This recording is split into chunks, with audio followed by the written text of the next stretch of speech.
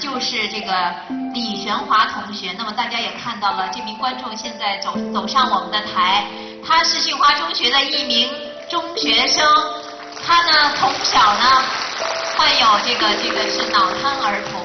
呃，他听了我们老师这两天的汇报，一天半吧，尤其是昨天那个金雅佳老师在那边给他们上了一堂这个此生必听的一场音乐课以后，呃，李小李同学非常的受感动，然后主动上台呢，要跟我们大家说一说，谢谢您，谢谢。那么，嗯，今天呢，他也来到了我们这个主会场。也想跟我们在座的是吧，叔叔阿姨、爷爷奶奶、各位师长们，也讲讲你的心里话。这两天听我们这些老师们分享的体会好吗？好吗？李学华，好嘞。尊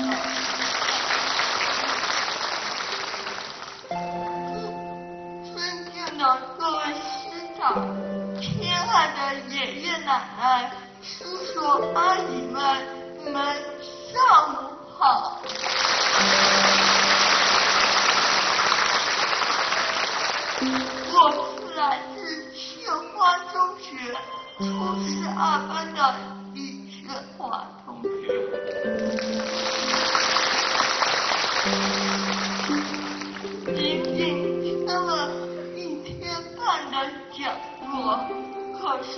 使我深受感动。首先。我要说的是，感谢一切。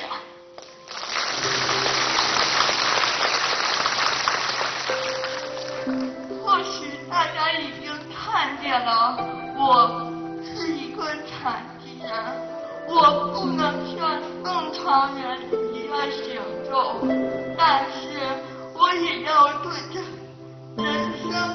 说一声谢谢。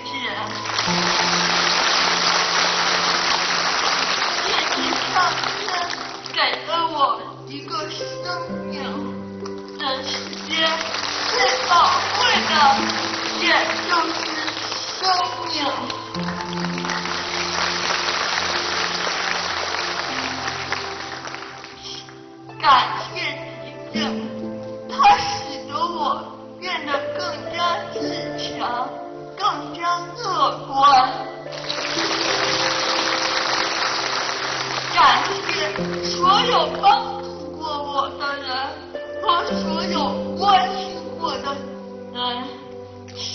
谢谢你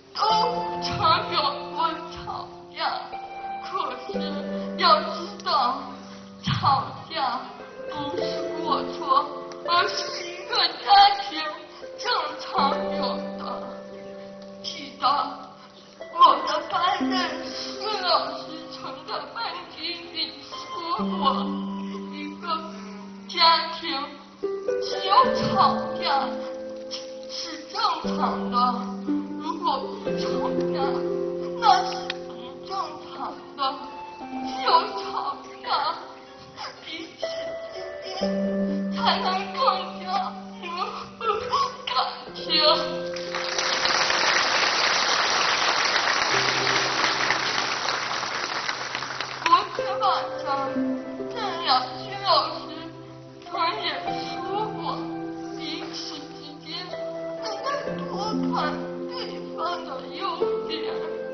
对方哪能说一个又点点的话只有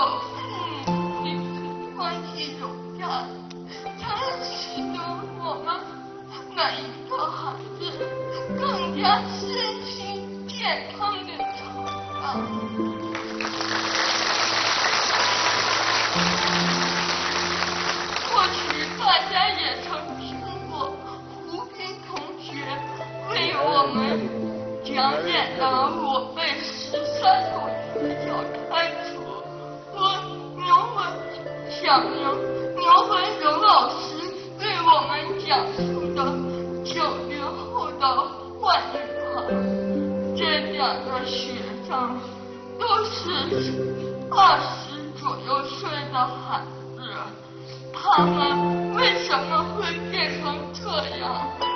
也跟着家当母后洗脚的时七八岁的时由于父母吵架母亲说儿要离家出走从里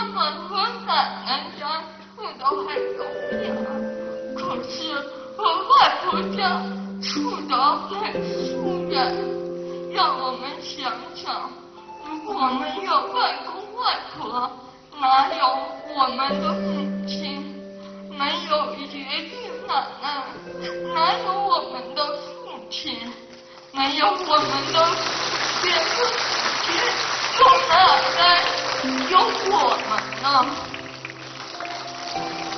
罗天上听了之后我流下了泪水我的泪水并不是感动的泪水。而是忏悔的泪水我恨他们们三百六十五天我在咱们家自己连几天都不到，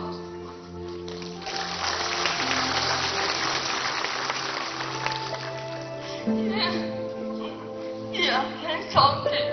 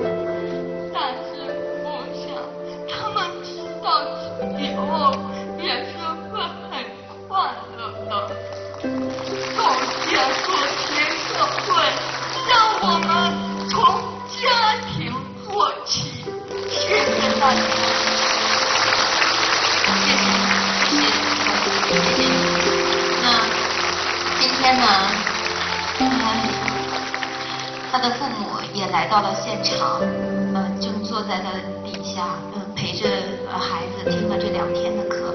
那，能说说你和父母之间的这个爸爸妈妈之间的一些事情好吗？刚刚在车上也跟我分享了一些。你帮你拿着话筒。手机，我。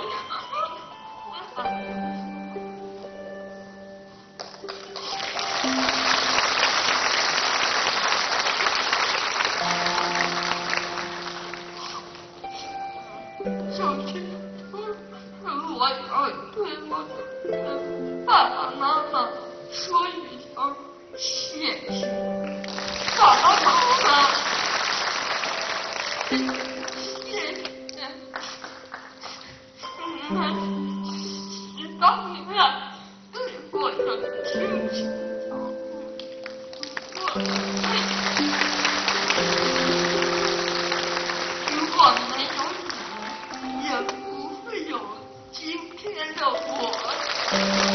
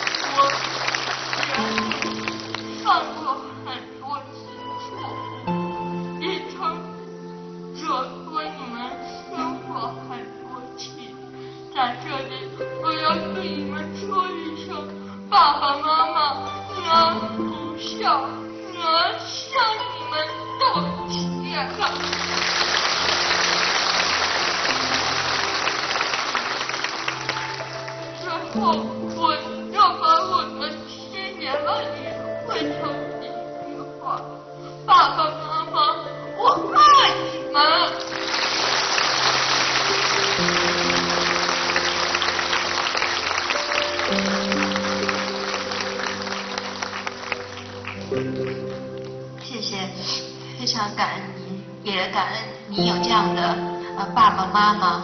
那么我们也看到了你这份孝心我们再一次以热烈的掌声感恩小赵同学啊嗯我呢也了解到了一些情况就是爸爸妈妈呢有这样的一个孩子其实我们国家是有规定的就是有这样的一个优惠政策，可以再要一胎。那妈妈呢是为了这个孩子，后来就没有再要第二胎。那我想问问您。当时是怎么想的，好吗？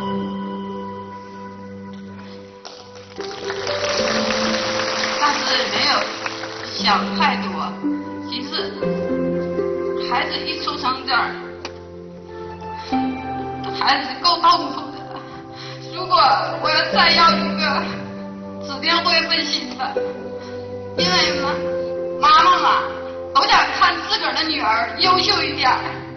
如果我再要一个正男的，指定会有比的心理，因为毕竟是健康的嘛，什么都能干呢，当然就会有偏心了。所以说，放弃了这个念头，好好跟我的女儿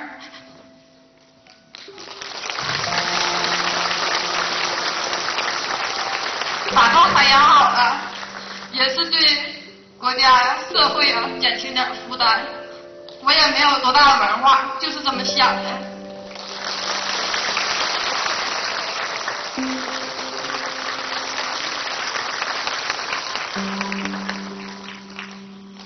妈，妈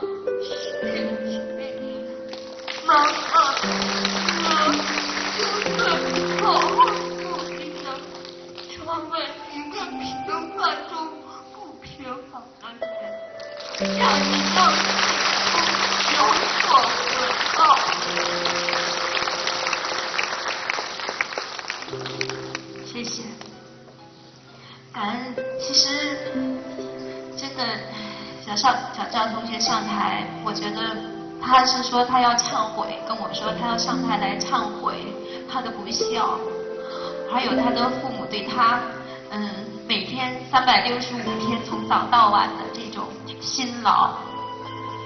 可是我觉得在台上，嗯，更多的是看到了真的他的这个坚强和勇气。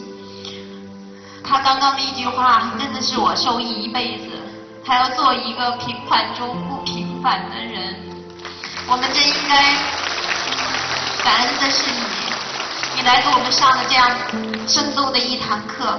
那我们呢，也祝愿你在场的所有观众朋友们，给他一些掌声，祝愿他这个家庭永远健安康。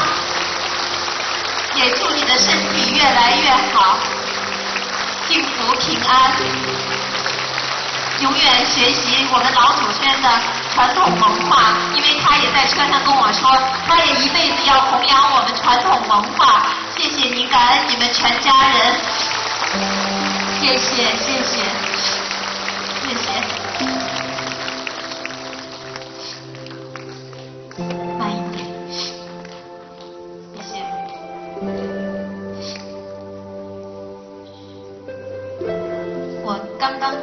上呢，一直是呃采访李耀华同学，然后他一直在在跟我嗯在在忏悔他的这些事情。他说我在嗯台上，因为我在那边汇报了一个一个多小时，他一直我看着他一直在底下那样哭哭哭。后来他就说特别谢谢傅老师，他说我不是激动的眼泪，我是忏悔的眼泪。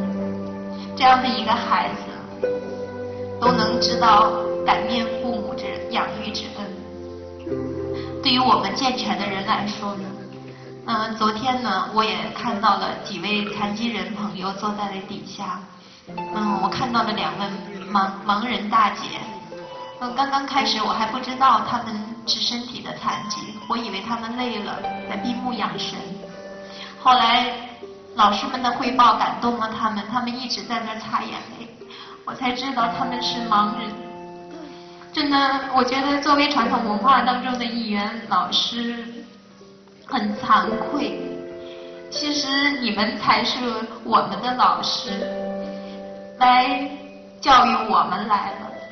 那老祖宗有一句话叫“教学相长”，真的，我们祖先的这个。古圣先贤的文化断了一百来年，需要我们手牵手，中华儿女手牵手，嗯，互相帮助，互相走出这个误区。我们从此放下我们一切的怨恨心，来帮助周围的人，也就是在帮助自己，成就自己，也是在成就其他人。感恩先祖，真的，我非常自豪的站在这里，我是一名。中华儿女，我感恩我的，我是中国人，感恩我的老祖宗，谢谢你们，谢谢。